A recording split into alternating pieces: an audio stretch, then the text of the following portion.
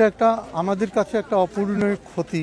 শুধু সৎসঙ্গী মহলে বলব না, সমগ্র জনমানসে সর্বত্র, কেন কি এমন প্রেমিক মানুষ, মানব দরদি, এরকম খুঁজে পাওয়া যাবে না।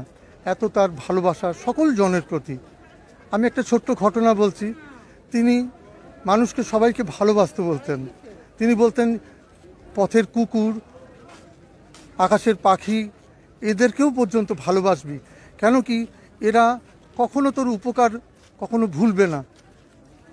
অনেকে হয়তো মানুষ হিসাবে এই উপকার ভুলে যায়, অনেক কিছু করে, কিন্তু প্রকৃতির মধ্যে যারা বসবাস করে, জন্তু, জানোয়ার, এরা কিন্তু এগুলো ভুলে না।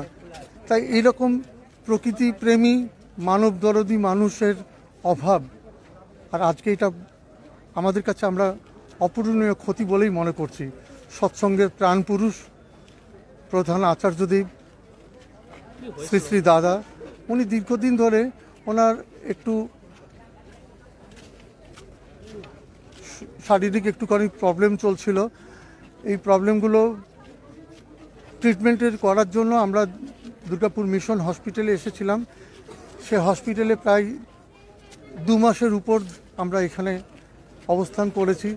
হসপিটাল বা, এর ডাক্তার নার্স সমস্ত মানুষের প্রচুর সাহায্য, সহযোগিতা, তাদের আপ্রাণ চেষ্টা, লক্ষ লক্ষ মানুষের আকুল প্রার্থনা সব কিছু শেষ করে দিয়ে আজ তিনি সেই অমৃত লোকে যাত্রা করেছেন।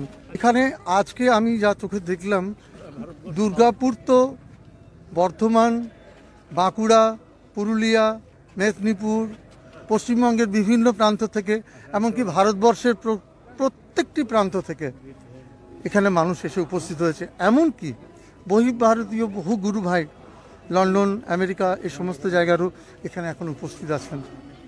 সবাই তাকে অত্যন্ত ভালোবাসতেন। আর